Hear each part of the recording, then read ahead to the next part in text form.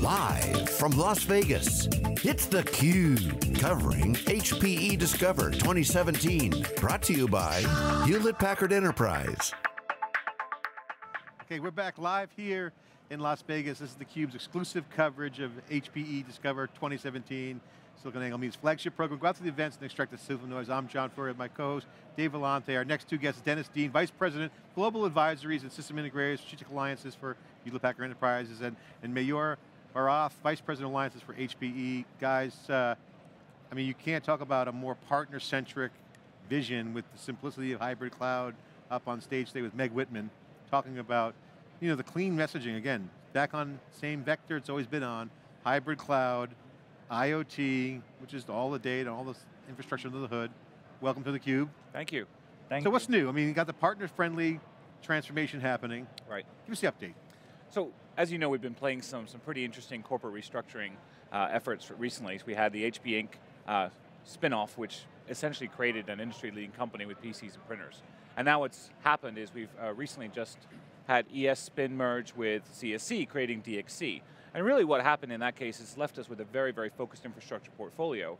And a lot of our system integrator and global advisory partners have seen this and gone, hey, you know, there's an opportunity here to really partner well. Our portfolio now is extremely uncomplicated to understand. It's industry leading, it's world class, and with our Pointnext services divisions, we've got some asset centricity now, where they can help package into a really nice way for our other system integrator and services partners to take it to market.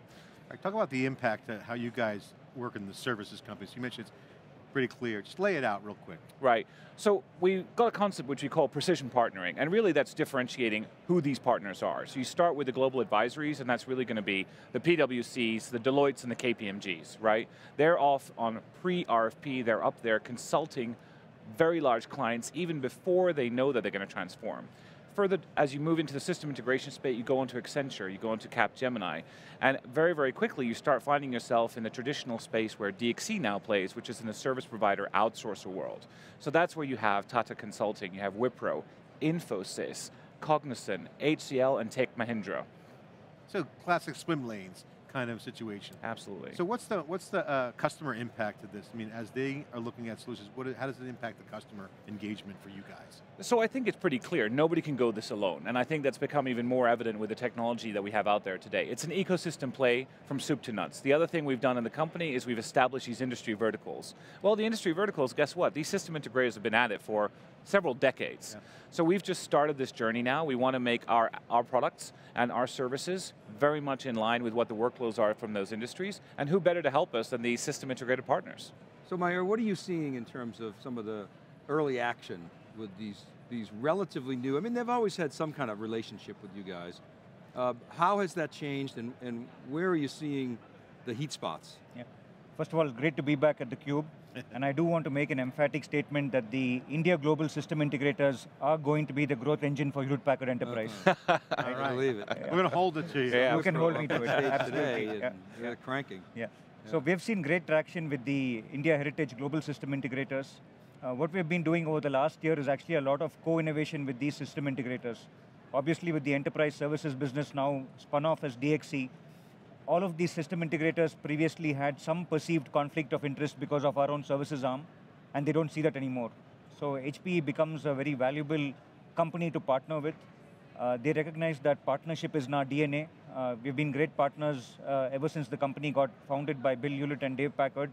And the real ethos of this company is partnership first. You have heard Meg say it, it's part of the core values of Hewlett Packard Enterprise, which is partnership first. So HPE is a very, very valuable and attractive partner proposition for these companies. And what we have done on the innovation side is actually a lot of business model innovation. Uh, you heard the CEO of Wipro who was on stage recently and he spoke about what we're doing with flexible capacity services, mm -hmm. which is really offering a pay-per-use model. So again, uh, we couldn't be in a better spot in HPE, Dennis and myself in the Strategic Alliances organization, and we're really excited about well, it. Well, I love what he said uh, about we either eliminate it, we hyper-automate it, mm -hmm. if we can't hyper-automate it, then we agile it. Agile it. And it was very aggressive yeah. sort of stance. Mm -hmm. uh, and he talked about retraining I think 61,000 61,000, yeah. Yep. I mean, massive numbers that we're talking about here. Yeah. So, so your, your prediction is is maybe hold some water. it does hold some water. I mean, we're very excited about where these partners are and the potential they hold for us. Uh, I keep telling our leadership team, I really believe we're at the tip of the iceberg where these partners are concerned.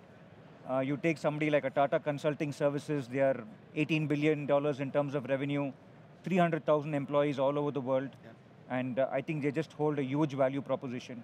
And just to add on to what Dennis was saying on the precision partnering line, what we've really done now is we've identified where each of these partners have core strengths by industry vertical. Mm -hmm. So for example, I know that in the financial services industry, a Tata Consulting Services and Infosys are very strong. Uh, we know somebody like a Wipro is very strong in the oil and gas industry. Mm -hmm. We know somebody like a Tech Mahindra is very strong in the telecommunication space. Mm -hmm. So rather than spreading ourselves thin and trying to do everything with everybody, mm -hmm. we're really choosing specific industry verticals to partner with each of these global system integrators. This is the swim lanes we were talking about. This yeah. is interesting. And talk about the dynamics. Because the specialism of of, of, knowing the areas right. are important because you have data, yeah. uh, there's applications, but also you have the horizontally scalable you know, multi-cloud market right there, which is the, you know, going to be ultimately the the uh, end game here as mm -hmm. hybrid cloud starts to grow, you're going to have multiple clouds, right. multiple use cases, multiple industries. Mm -hmm. So you want that horizontally scalable, yet the specialism. We do. I think, you know, rather than call it swim lanes, because at the end of the day, these partners are enormous. They bring an enormous scale to us as well. As Canals. Canals. And I'd say, you know, ring fencing is almost, you know, a way to go about it. And in some cases, they do compete, right? And in some yeah. cases, you know, even our services will overlap a little. So what we're trying to do with it is call out where the complementarity lies, agree on a set of accounts in a set of industries in a specific geography, and even with a value proposition that we can go to town with. Whether that be hybrid IT with Deloitte, or network as a service with Accenture, going down into flexible capacity services with Wipro. And what's emerged is if you look at our portfolio, you kind of heat map which partner's playing where with us, and that's by design. We don't want to say anything's exclusive. Every partner can work with us, and we will absolutely go to market with them. At the end of the day, they have their own install base, right? Yeah. We'd love to be part of that.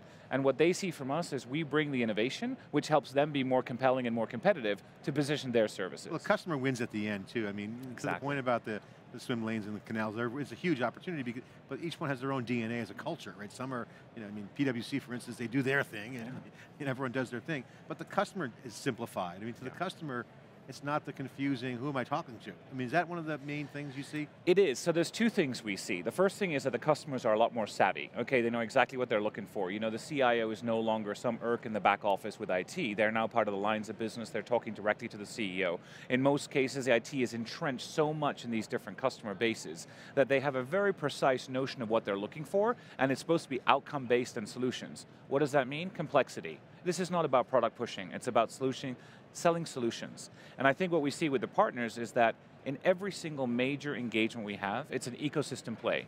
You may have a PwC, like you said before, at the advisory level. You might come in then with Accenture doing some system integration, and guess what? Infosys runs the whole back end.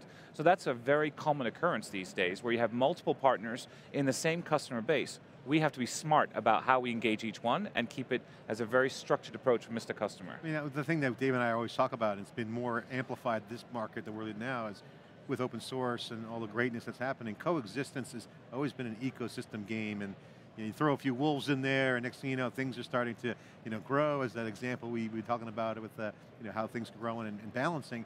So there is a coexistence. Mm -hmm. um, but, but talk about examples. I would like to get some specifics. If you can share some use cases of what you guys are doing with partners, just to kind of put an exclamation point on the new mm -hmm. post-spin merge engagement. Give us some examples of yeah. the ecosystem. You mentioned a few within, you know, doing the back end thing. Yeah. Uh, just going back to this coexistence, so we were just with the CEO of Wipro, and he was telling us that he was with the CIO of a major oil and gas company, and the CIO tells him, listen, I partner very well with HPE, I partner well with Microsoft, I partner well with GE, but maybe there's an opportunity to form a consortium of sorts and all of you come together and talk to me instead of me talking to all of you independently. so I think that's also reflective of the maturity in the marketplace where increasingly I think both customers and partners now are very conscious that one company can't do it all and that all of us have to coexist in this particular space. Mm -hmm. So I think that's an example Maybe you're talking about the, the, where that was just a few years ago. I mean, this is a new dynamic, or, yeah. or how new is it? I mean, that, that conversation seems to be typical now. It's not just force fitting, hey, just get along and play well. Yeah. It's actually table stakes. I mean, right. It, it's table stakes, yeah. And I think increasingly both customers and partners are realizing that each of us bring very complementary offerings to the table. So all of our customers and partners, the feedback they've given on some of our recent acquisitions, for example, SimpliVity, Nimble, SGI, they see it as a very complementary acquisition to the services that they offer. So when I talk to Wipro in the oil and gas segment and they say, we want high performance compute, and now that we have SGI as an acquisition, they see it as very complementary. Mm -hmm. So I think that's where it's, it's an excellent dovetail between what we offer and what the partners need to serve the end customers. And customers across board today, they're talking about digital and digital transformation. So I think that's where the power of HPE and the partner comes together. I mean, Dennis, this is the portfolio benefit. I mean, yeah, ultimately, right. the bigger the portfolio, the better the fit for those kinds of conversations. You know, and it's even more so than that, because again, you, you look at our portfolio, it starts looking pretty extensive. You know, we now have a series of very interesting acquisitions which start to fit beautifully in our framework, but you got to stitch it all together nobody's going to buy a single server standing on its own. They need the connectivity to go with it. Then you have to start looking at what kind of compute workloads do you need, and which cloud do you want? Oh, you want both of them. And then that's probably got an ecosystem play with someone like a GE Predix, for example. So we've got a lot of triangulation that then starts happening with our ISV partnerships, so out with Microsoft, you know, out with some of the Docker, some of the Mesospheres. So what ends up happening is you end up with a beautiful set of raw ingredients, but who's going to mix the salad, make it look beautiful, and serve it up to Mr. Customer at the right price point. And I think that's where we've seen a lot of innovation come from our HP Financial Services to underpin that yeah. traditional CapEx model and deliver it on an OpEx basis for consumption selling. And guess what these partners love more than anything? OpEx-based, services-led.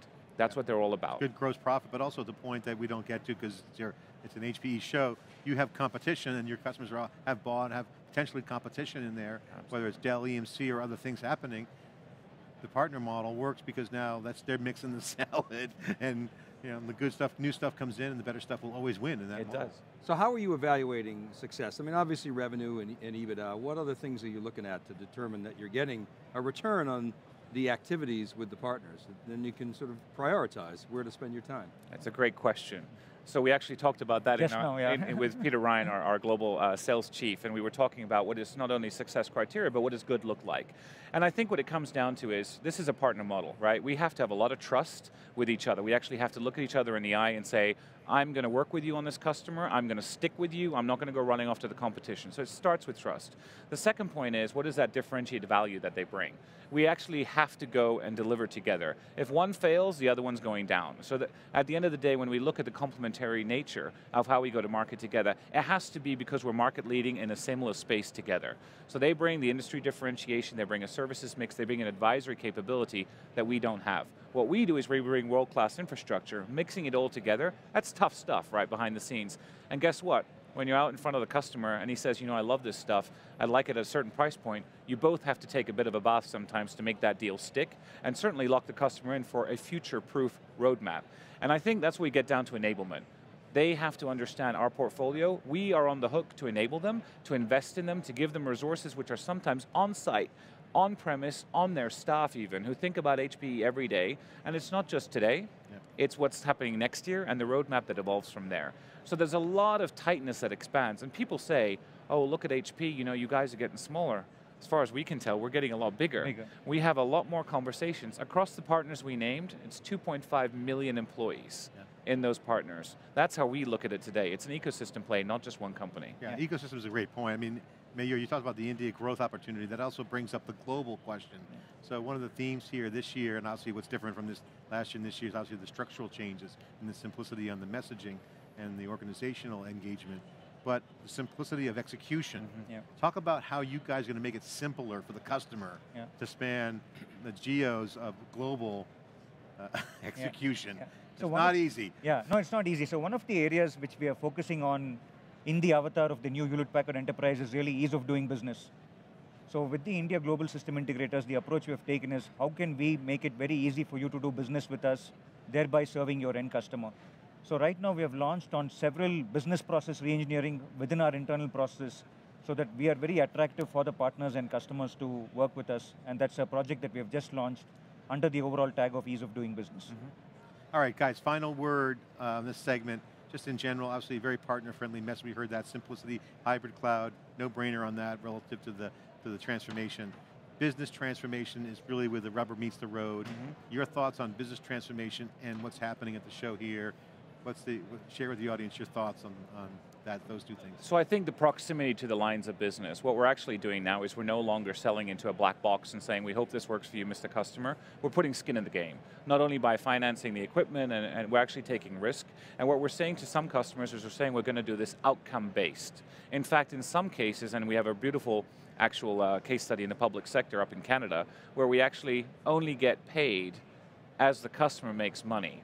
If you look at some of our showcases, which we've done even in Santa Clara with the Aruba enablement of the stadium, the 49er stadium, you think about the business value that happened there. We monetized the game. So the Aruba Wi-Fi enablement, that was just a point play. Yeah. What actually ended up happening is the entire stadium makes more money as a result of this geolocation where you can order food, have it delivered directly to your seat, and not miss a, miss a single second watching the game as you eat. And that's a great use case. That's a business outcome that has nothing to do with serving wireless to people as a speeds and feeds. It's right. basically an enablement for an entirely different experience. And it's a language we have to learn to talk, right? I think, again, that's where we fall back very heavily on our advisory partners. I mean, if you look at the language that Accenture uses, KPMG uses, Deloitte uses, I mean, they speak this language every single day. They're in the C-level boards, they're having these conversations before we even get involved, and I think that's a huge value there. Final, final question, I know we've got to wrap, getting, getting the sign, but low-hanging fruit in terms of industries. You mentioned, obviously, media and entertainment, that's the sports. Mm -hmm. uh, you mentioned manufacturing, retail. Are these the low-hanging fruit? What are the low-hanging fruit areas that are ripe right now for, you know, business transformation? Yeah, we've spoken about industries, but I think the biggest low-hanging fruit for Hewlett Packard Enterprise as a horizontal is across the IoT space. Mm -hmm. Each one of our partners has an IoT strategy in very niche areas, and I think Hewlett Packard Enterprise is just beautifully positioned right now to take leverage of what's happening in the IoT space. And again, final words from my side is that the India Global System Integrators is going to be the growth engine for Hewlett Packard Enterprise. Now, you are, we're going to hold it to you. yeah. Dennis Mayur, thank you for joining thank us you. on theCUBE here. Partner update there, partner friendly, clear lines of engagement. It's a great opportunity, IoT. It's is theCUBE bringing you a lot of Internet of Things with video. I'm John Furrier with Dave Vellante. Stay with us more for live coverage of our three days of exclusive HPE Discover 2017. Stay with us after this short break.